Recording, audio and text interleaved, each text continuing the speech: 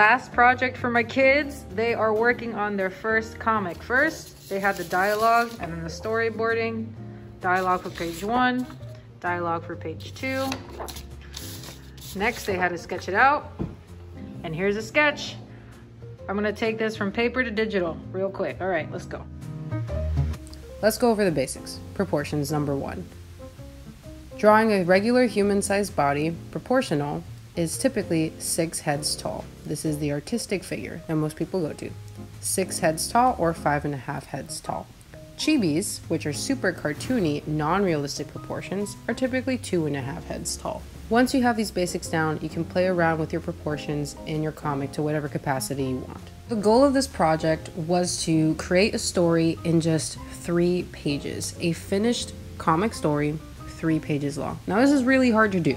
Like, short stories are hard to do because when you're writing a story, you think of all these details that you need to include. You want to include a background, you want to show the conflict, you want to have your characters, and you want to make the sequence of events make sense. So it's not surprising that a lot of people think this is pretty scary and rough and difficult to finish in general. Just saying to a few kids, hey, make three pages of whatever comic you want is a little it's a little much. I'm not gonna lie it's a little much to ask from a few kids. Because your head is just locked with all these creative options and ideas that you could pursue. To make it easy break it down. Page one should be the introduction. Page two should be the middle action the sequence the action the main event. Page three the concluding action after your climax. The conclusion. How does your story end First thing I had my students do in my class was create two characters that this comic would be centered on. I had the students design their antagonist and protagonist first. So, in this introduction scene, I'm setting up what the conflict is between the two characters. You have character number one clearly interested in an item, and character number two, the antagonist, is also interested in this item. Boom, conflict has been set up, and we've been introduced to two completely different character designs, both distinct from one another. Before writing your comic, make sure you get that design down. Who is your antagonist and who is your protagonist, and what is the conflict between the two? Two distinct characters with two completely different character designs that the audience can identify and read clearly, because that's the point of a comic. You want to show, don't tell. And really, that's the challenge uh, I think most mangaka and just comic artists in general have with their storytelling. That's why dialogue is another aspect of this challenge that is difficult to work with because you don't want to oversaturate your three pages with words. You want to focus on what's going on in your panels. Your drawings are more important than the dialogue bubbles. Moving on to page two. Like I said before, page two is the climax where we see the action happen. The main conflict of the story comes to a boiling point, and we see the antagonist and the protagonist go at it. And this is what I told my students. Now that you've written two characters and introduced them, I want you to show a fight scene between them if possible because who doesn't like a good shonen fight scene? And most of my students are huge fans of, let's say, Attack on Titan, uh, Demon Slayer, so I wanted them to go for it, really go for it. I like storyboarding first. You're always supposed to storyboard the action first. Who is getting hit? Why does the hit make sense? What powers are being showcased? Like, how are they getting hit? Is it a punch or is it a kick? Uh, if it is a punch or a kick, is it like a, an ice punch, a fire kick? And here, my characters have this really cool, like, holy power versus like hellfire power. And again, it just shows the difference between the character designs of the protagonist and the antagonist. So you want to make sure your fight scene is not only cool enough for you to look at, but is engaging storytelling wise. Now I know one of these people is evil, or I'm supposed to look at them as such. And the other person is the clear good guy, and their powers are reflected in the way they fight.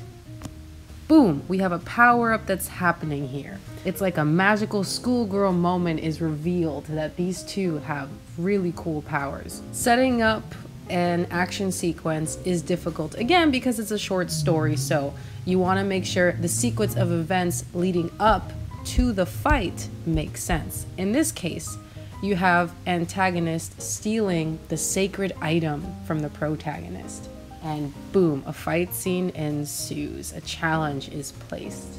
We have a punch, we have a power up, we have fire wings. Now the character is being laughed at. It's like a oh sh- what's gonna happen? What is this character gonna do? And it all culminates into page number three. One more thing you can probably notice in page number two is that there's less details in the background. My drawings are only focused on the poses and the action between the two characters because if I've done my job well, then in page number one, I've already established the setting with my drawings. Keep that in mind.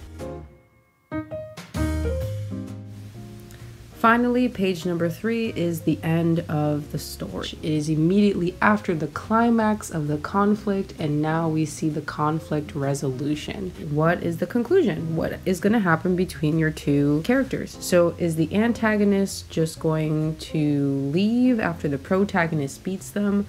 Does the protagonist win against the antagonist, or does the antagonist win? There's a whole bunch of storytelling options that people can choose from. Some of my students actually ended up making a comic where the bad guy wins and everybody dies. It was really dark, it was out of nowhere, and it was a little funny to read. So that's them showcasing their creativity. In my comic, now this is a pretty cheesy ending because the protagonist and the antagonist become best friends. And I thought it was really cute, this ending of the two of them holding hands with the teddy bear and they decide to share. The conclusion of a story can serve multiple purposes. Could just be the end of these three pages, or like some of my students asked me, what if it ended on a to be continued note and it ended on a cliffhanger? And I was like, shoot, go for it. But like I said, the challenge is to just make a complete finished story in just three pages. So, whatever makes sense, whatever is the logical conclusion for this little narrative that we've created for ourselves. And the end of this narrative is after introducing two opposing characters, they fight, the conflict ends, the resolution is they become friends, and that is the end of my narrative. The most difficult aspect about this challenge, again, is making a short story narrative in just three pages, so you only have a limited number of panels, which means you have to break down the story into the most important sequence of events. Two characters interacting with each other, somebody does something to somebody else, and then we have the climax and resolution of that interaction. What's gonna happen? And that's the best part. You're the comic artist, you're the narrator, you're the author. You get to decide how your story ends.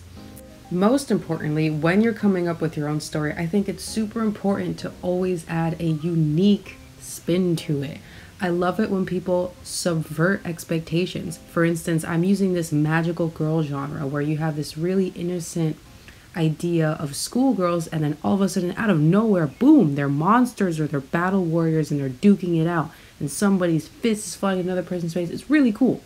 So, subvert expectations, whether you're writing a shonen or a shojo make your own story, put something unique out into the world that you've never seen before. I find I do my best work when I draw by hand on a piece of paper and then I ink it in digitally and add color gradients and really give it that comic book flair. Let's check out the animation because I'm extra like that.